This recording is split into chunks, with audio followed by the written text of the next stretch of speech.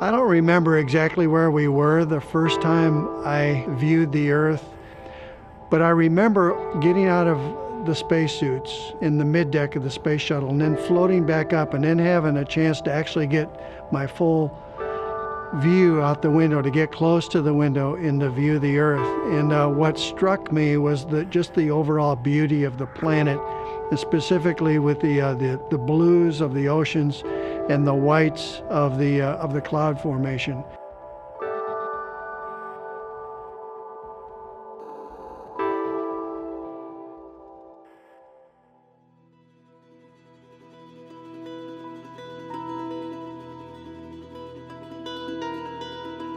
I put a high priority on photography and video out the window uh, of the earth.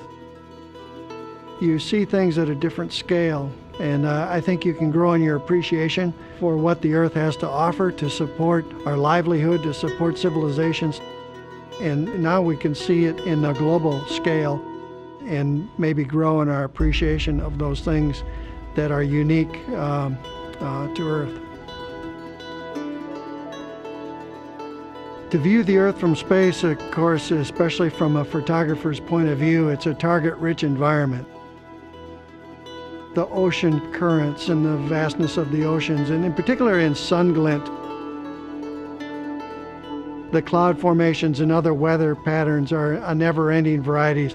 Uh, the different landforms that you have uh, show themselves in different ways.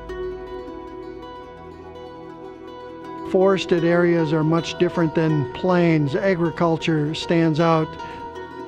You can see elements of, of the culture and the history of the area just through the patterns of, of agriculture.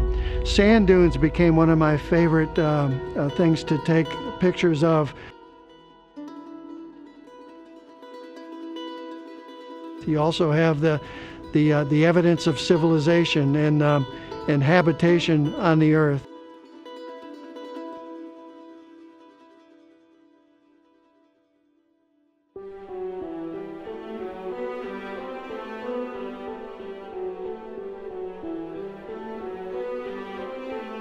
Every sunset, every sunrise is unique in, uh, in especially in its uh, patterns of, of cloud formations uh, that the sun sets or rises from behind.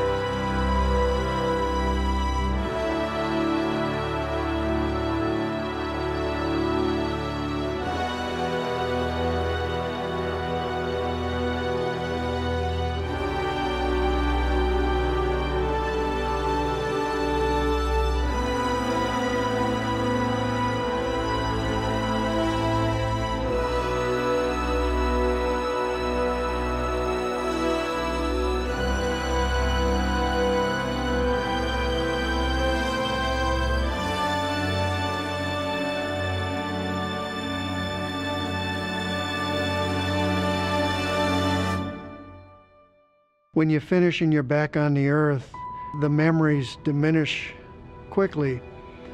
So, to capture the memories, to be able to bring back the experience to others, and viewing this planet, now we can see it in a global scale and maybe grow in our appreciation of those things that are unique to Earth.